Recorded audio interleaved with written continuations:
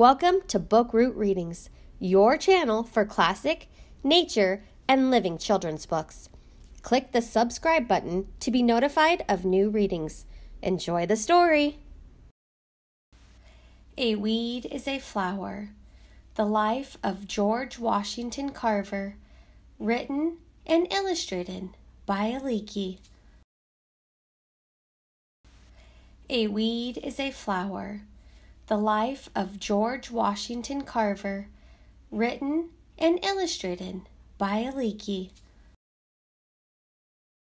For Lisa, Jim, Stephen, and Gregory Liacouras.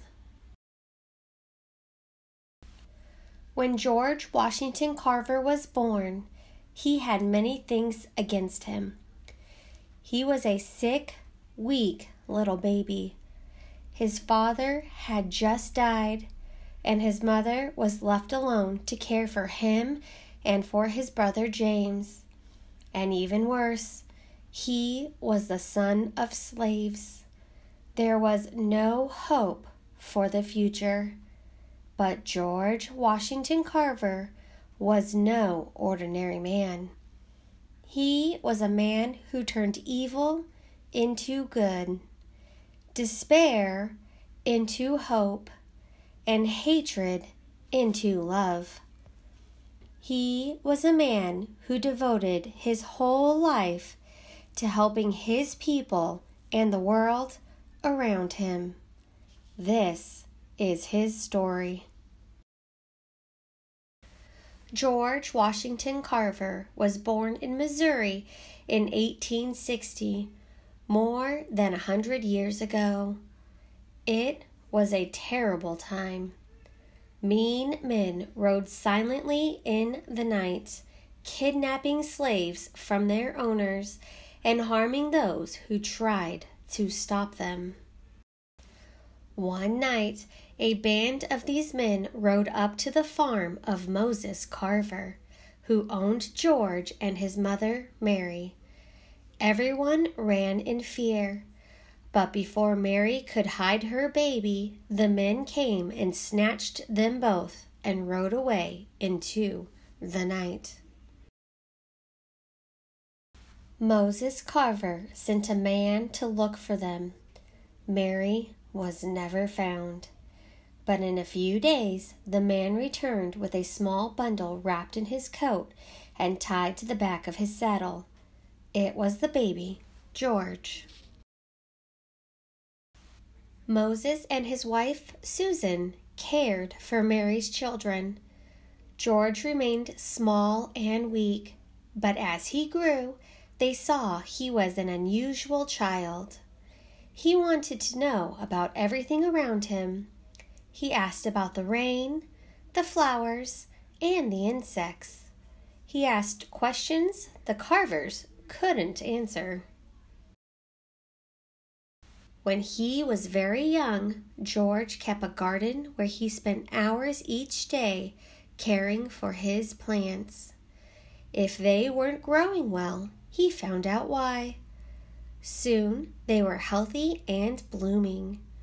In winter, he covered his plants to protect them. In spring, he planted new seeds. George looked after each plant as though it was the only one in his garden. Neighbors began to ask George's advice about their plants, and soon he was known as the plant doctor.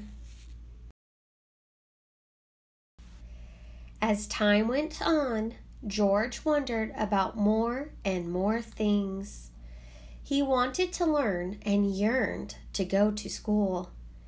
In the meantime, the slaves had been freed, but schools nearby were not open to blacks.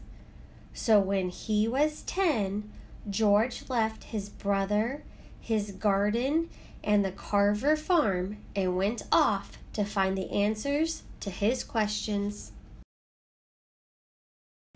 Wherever George Washington Carver found schools, he stayed. He worked for people to earn his keep.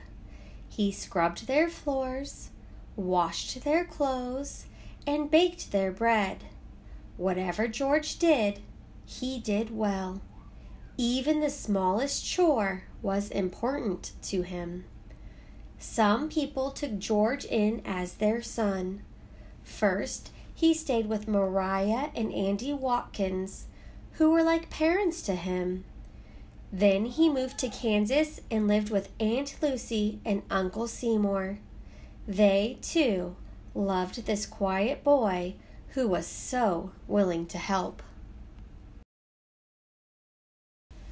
George worked hard for many years, always trying to save enough money for college. Other boys who had parents to help them were able to enter college much sooner than George. He was 30 before he had saved enough. Still, it was not that simple. Not all colleges would admit blacks, even if they had the money to pay. George was not discouraged.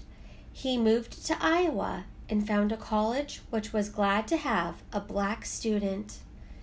At college, George continued to work. He opened a laundry where he washed his schoolmates' clothes. And he continued to learn. His teachers and friends soon realized that this earnest young man was bursting with talents.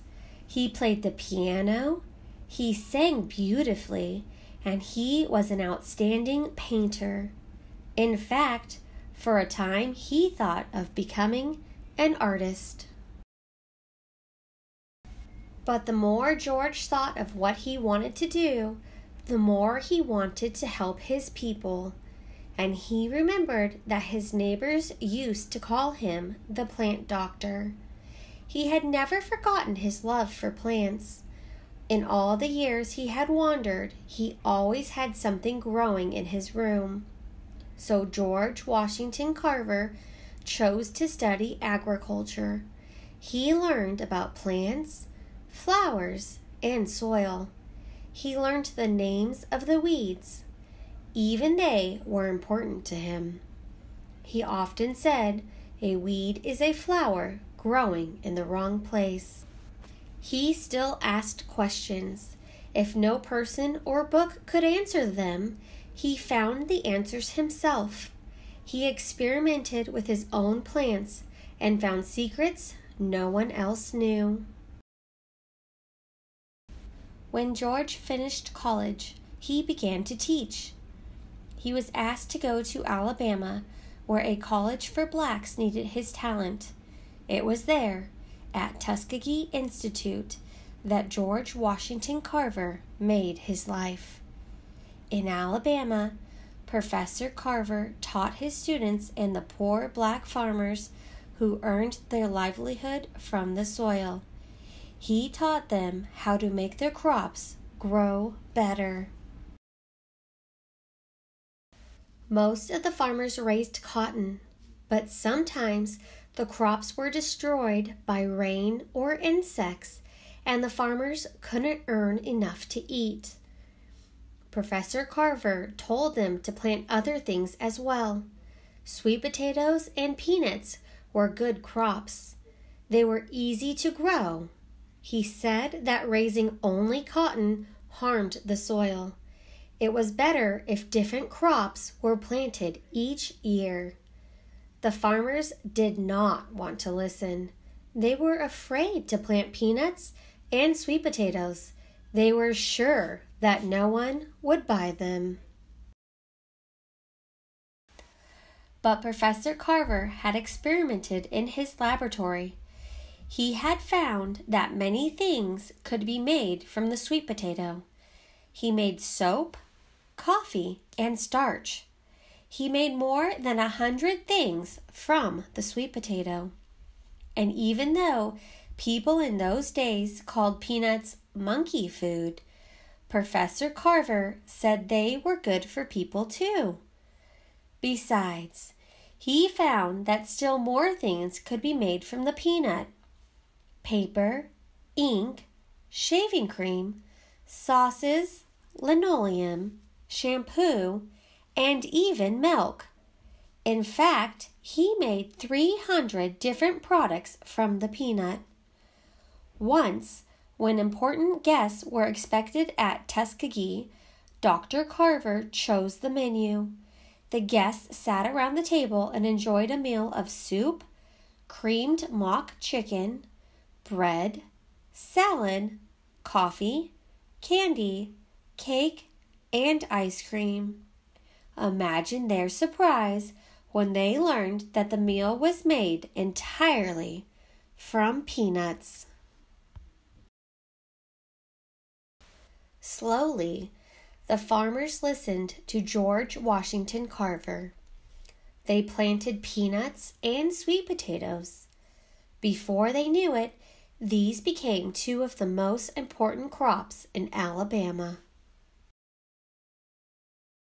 Soon the whole country knew about Dr. Carver and the great things he was doing.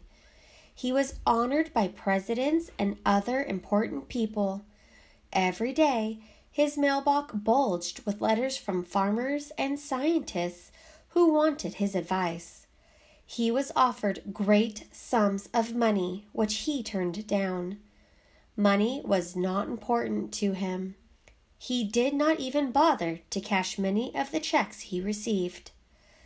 Throughout his life, George Washington Carver asked nothing of others. He sought only to help. He lived alone and tended to his own needs. He washed his clothes and patched them too. He used the soap he made and ate the food he grew. Dr. Carver was asked to speak in many parts of the world, but he did not leave Tuskegee often. He had things to do. He continued to paint. He worked in his greenhouse and in his laboratory, where he discovered many things. He discovered that dyes could be made from plants and colors from the Alabama clay. Even when he was over 80 and close to death, Dr. Carver kept working. Night after night, while the rest of the town lay asleep, a light still shone in his window.